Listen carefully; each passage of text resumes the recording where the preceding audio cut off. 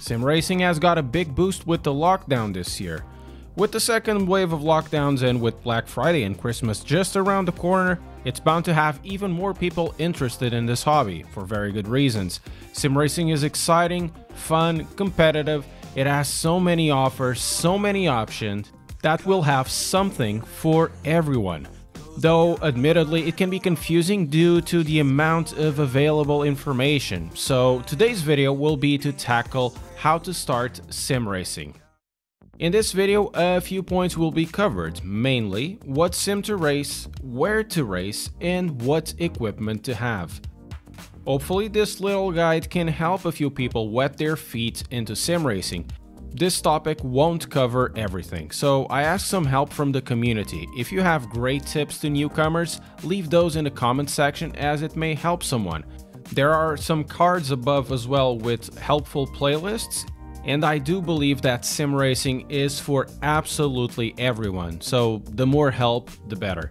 If you'd like to support the channel, consider leaving a like and a sub and use the affiliate links below. Before tackling the points, you'll have to ask yourself what's the objective you have with sim racing. Are you coming in to enjoy racing once in a while, or do you want to become as competitive as possible? One theme that will be central throughout this video will be save your money. Sim racing is far cheaper than all the videos out there with pretty things might give you an impression of. You should remember that sim racing is a journey, not a destination. Even if you don't have the most hardcore title or most hardcore equipment, it doesn't mean that you can't get it later whenever you can. First and foremost, have fun. There are many sims out there covering all the available platforms. Since all the platforms have nowadays a competitive racing title, if you want to get acquainted with the general gist of competitor racing, even if that's done on a casual way, it can be done on a platform that you already own. If you have a PlayStation 4 already, you don't need to move to a PC if you just want to know if sim racing is for you and what it's all about. If you are on a PlayStation 4, there are a few options. Some will cringe at the word Gran Turismo Sport with sim racing together, but don't hear them.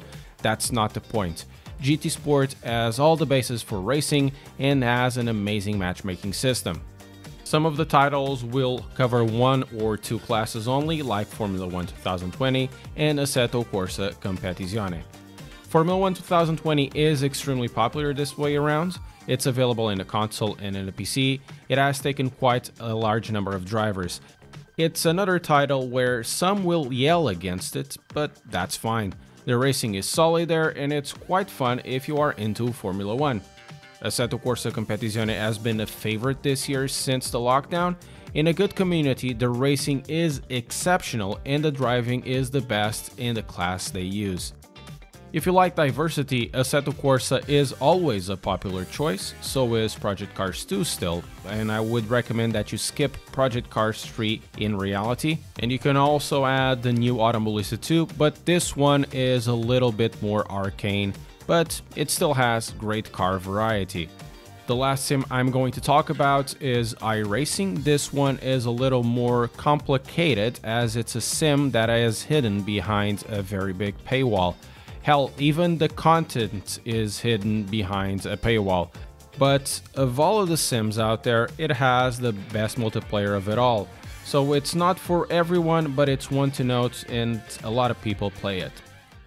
What sim to race can be as important as where to race. If you use your sim for just single player, pretty much all of the options that I've talked about including iRacing, have nowadays AI that is competitive or even championship modes.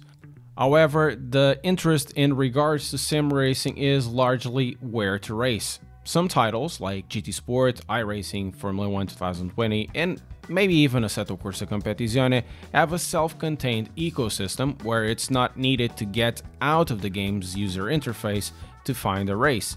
That means you really don't need to get out of the game's browser or the competitive multiplayer matchmaking.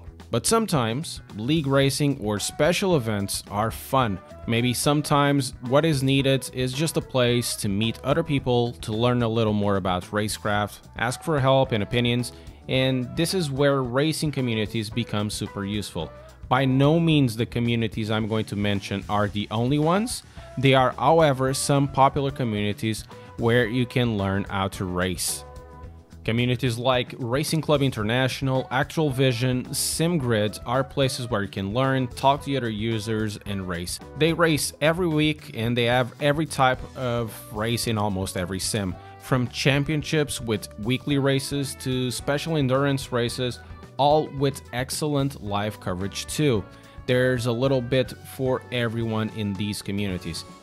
If you are looking for something a little more personal, less serious, there are also other ways for community races like uh, the ones available at YouTubers Discords. In this case, you can have a look at Jardier's or Chris Haye's Discord communities, or every so often, YouTubers like Team or Gamer Muscle will be streaming large races with their community. Where to race is important, it will give you the proper idea if you would like actually to sim race. It's also a good way to measure the interest before committing yourself into getting into a hobby and spending a lot of money into equipment.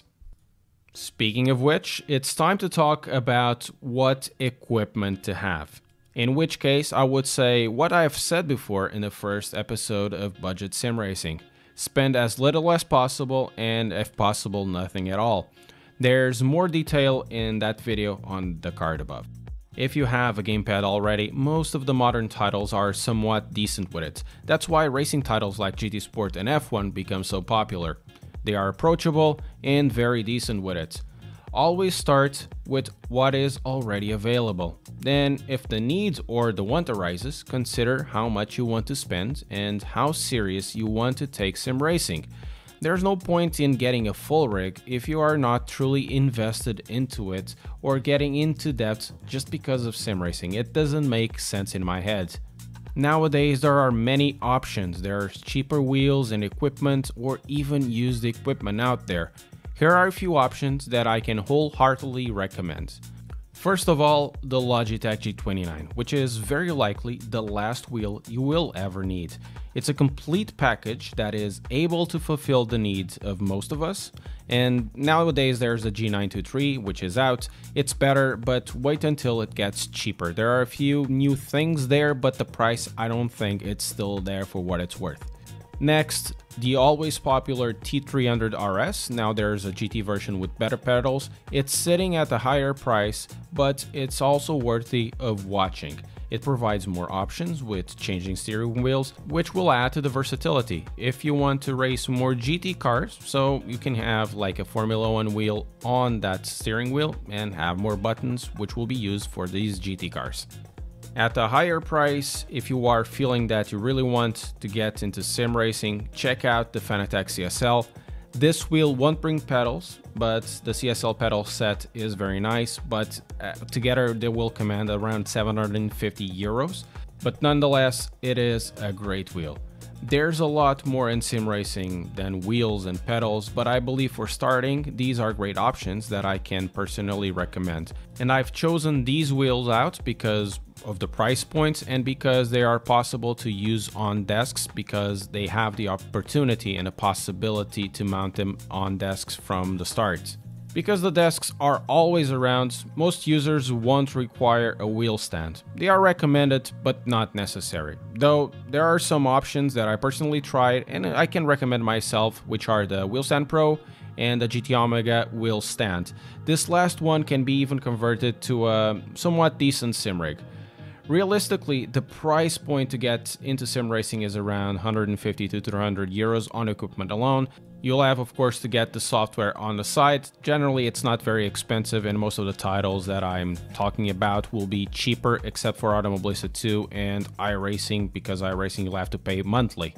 But in regards of the equipment, this price, up to 200 euros or dollars, it is realistic but maybe it's now a little more during lockdown. With patience, nice deals can be had. A last point in regards to equipment is that it's nice to have, but it doesn't make one faster. Having a decent set of pedals and force feedback wheel is good enough. Of course, better equipment adds to immersion and it's nice to have, but it doesn't add to pace at all in my experience. Believe it or not, while having a better wheel is good, once you get used to what you have, it won't make a really big difference overall. You can be competitive with any of these options that I just given, with many budget sim racers all around the world are still fast with these wheels. But most important of all is have fun.